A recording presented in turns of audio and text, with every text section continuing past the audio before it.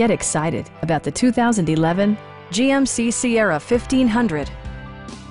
It features an automatic transmission, rear-wheel drive, and a powerful eight-cylinder engine. Top features include cruise control, variably intermittent wipers, a trip computer, a rear step bumper, an outside temperature display, remote keyless entry, and power windows. Side curtain airbags deploy in extreme circumstances, shielding you and your passengers from collision forces.